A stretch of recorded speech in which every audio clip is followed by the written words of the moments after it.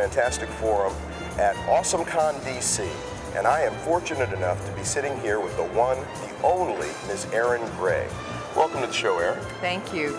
Oh. Very oh. nice to be here, really. and it is so nice to have you. I can't tell you how much of a, an admirer I am of yours ever since your model days, ever since the days of Buck Rogers in the Thank 25th you. century. And I was also fortunate enough to, con- well, to conduct, I'm not going to say conduct because you know, it, it, there wasn't much of that. You but, did uh, really, you did conduct. It was very nice. You well, were. Then we'll say it for the sake of the audience. I conducted Ms. Gray's Q&A panel here at the convention yesterday, yeah. and uh, it was it was just a wonderful thing to bask in your glow. Oh, thank you, thank you. We had fun, didn't we? Yeah, we did. Hey, yeah. we're still having fun. Yeah, we know? are. Well, I try to do that wherever I go. That's my motto, you know. Mm. Well, what's the point if you're not having fun? Exactly. Right? Mm-hmm. You know, because uh, one my other motto is don't take life too seriously. You're not going to get out alive. So, uh. so keep it light.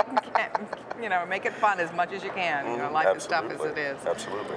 Now, eh, of course, everybody knows about you being Colonel Wilma Deering on right. you know, Buck Rogers.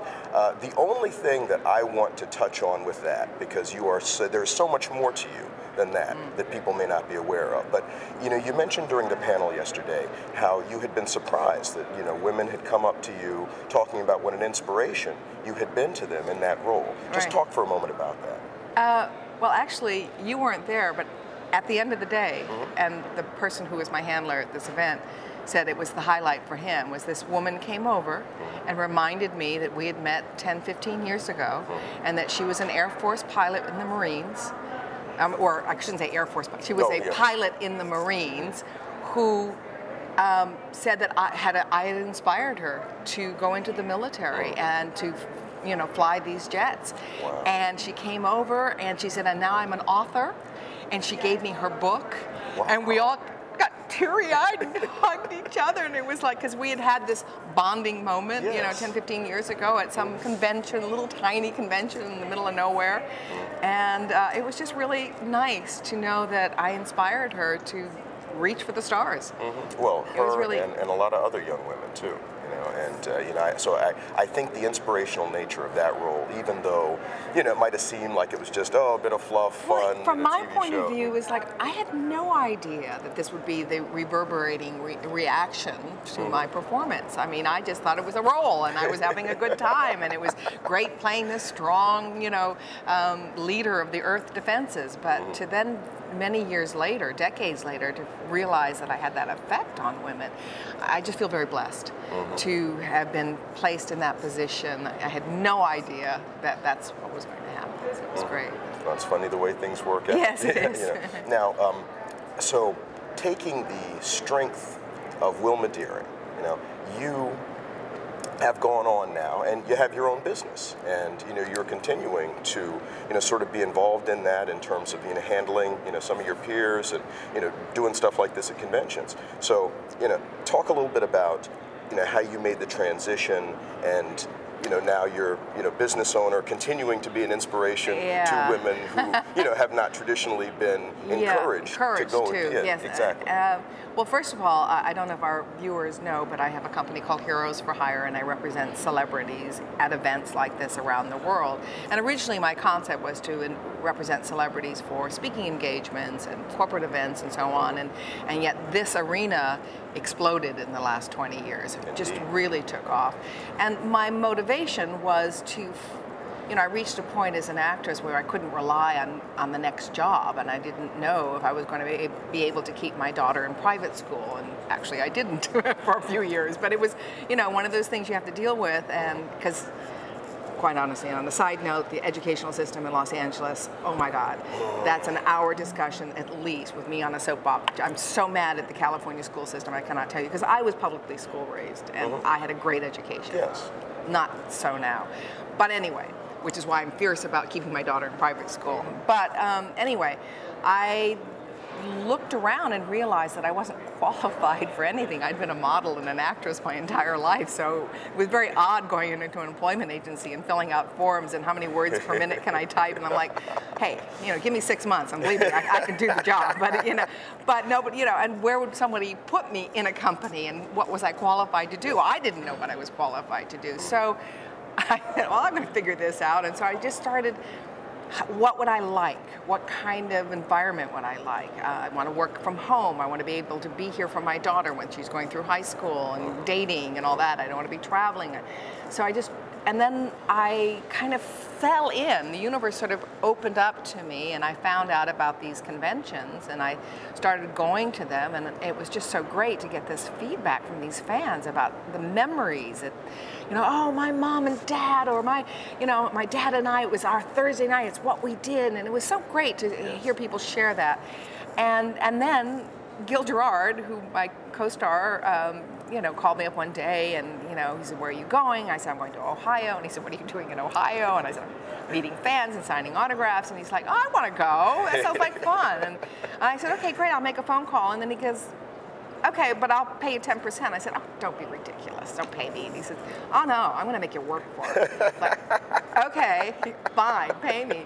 So that kind of started, that was the seed. And yes. then he went off to play golf with Marc Singer and from Beastmaster and V. And Marc called me up and says, well, I'd like to go. This kind of sounds like fun. And then it sort of started to grow.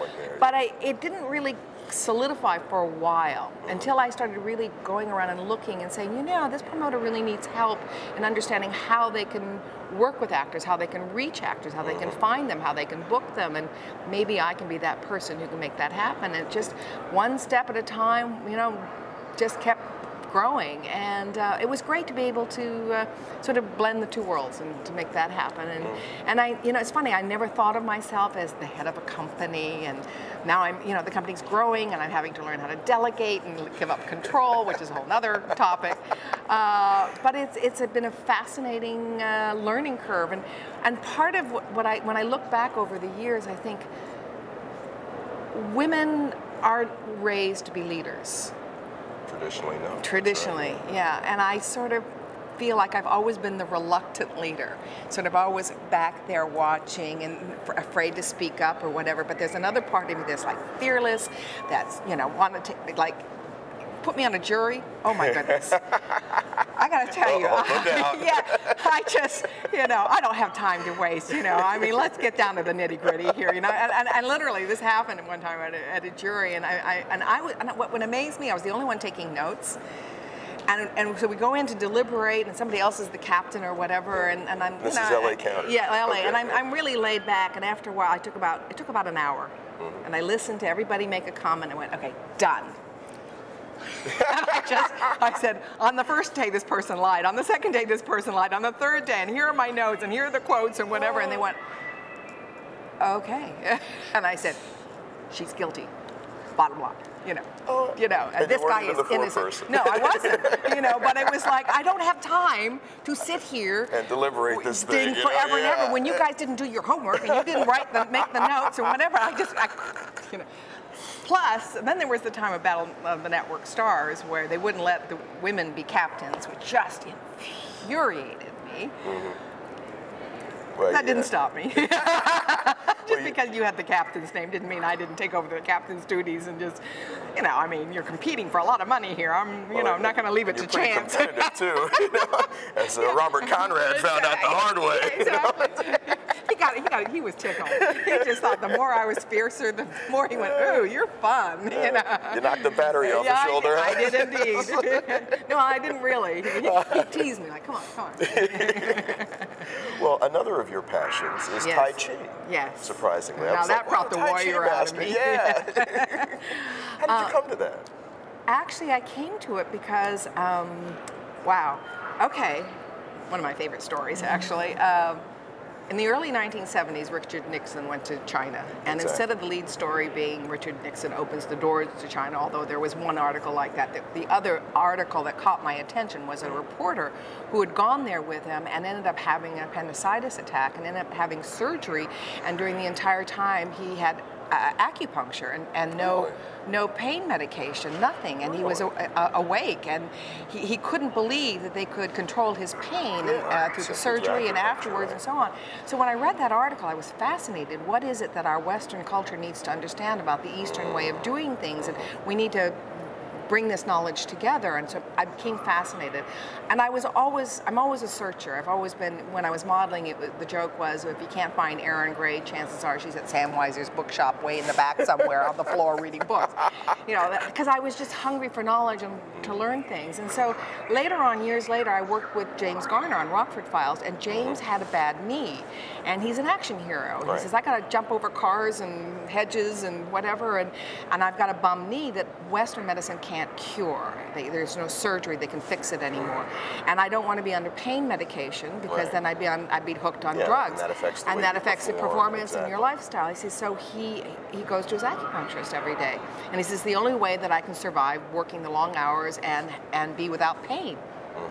And I thought, well, here's another testimony. So I went to his acupuncturist mm-hmm. and I started asking questions. How does this work? And what are you doing? And he would be reading my pulses. And what are you reading pulses? I thought we only had one pulse. You know, no, I have a pulse for my liver and I have a pulse for my kidney. And please explain all of this. And so then he said to me one day, he said, you know, acting's very dangerous to your health. And I went, explain Come some more. Yeah, I, I- I certainly don't want to hurt myself. So what are we talking about here?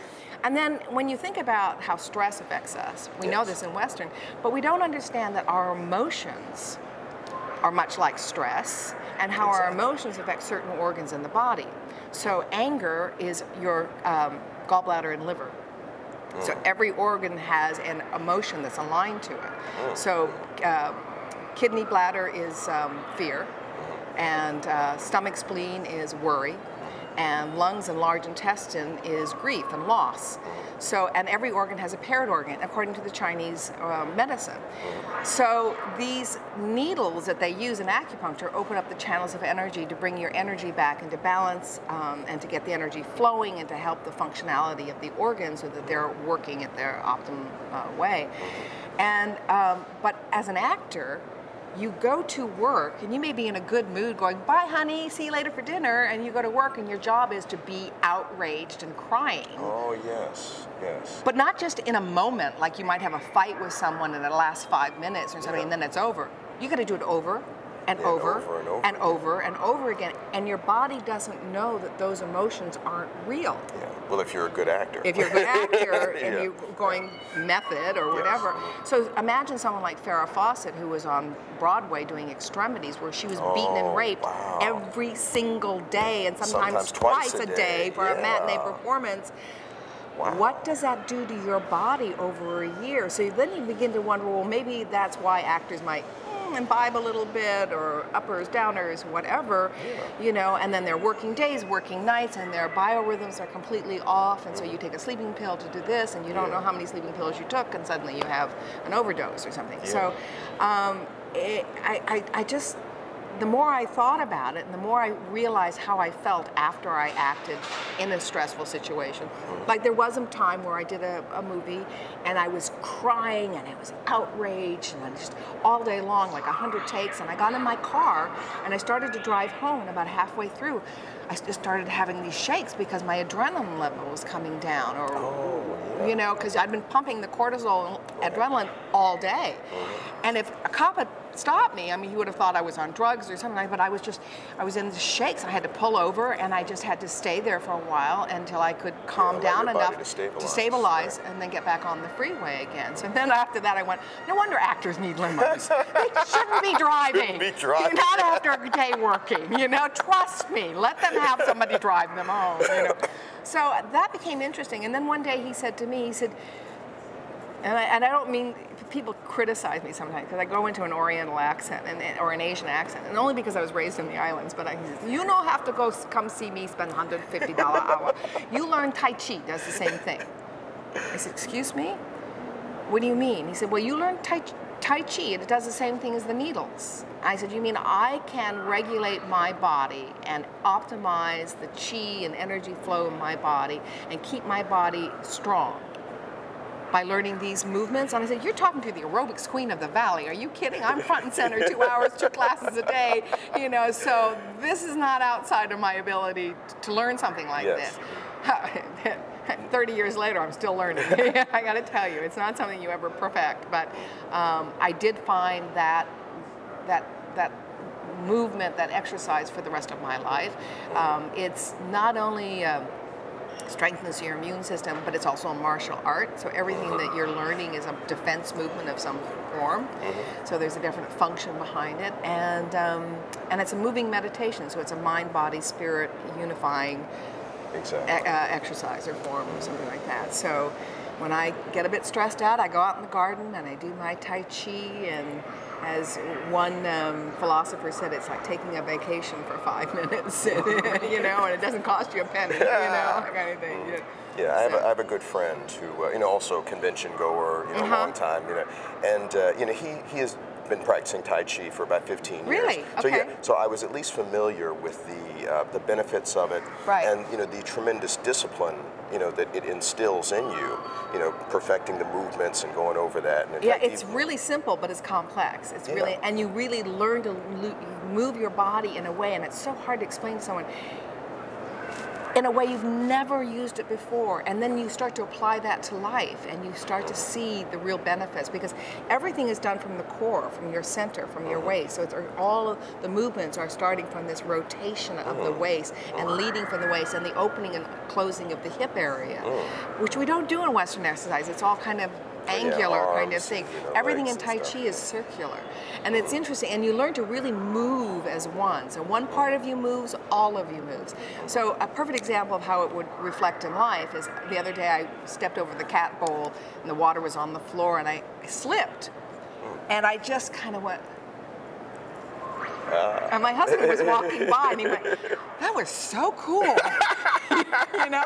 So instead of yourself I the just fall, the body exactly. just knew exactly how to counter so that I Mm-hmm. could land instead of just going flat down or something like that, you know. So it was uh, it was very cool. Eastern philosophy is absolutely remarkable. You know, I mean, and in, in many ways far superior to what we have over here.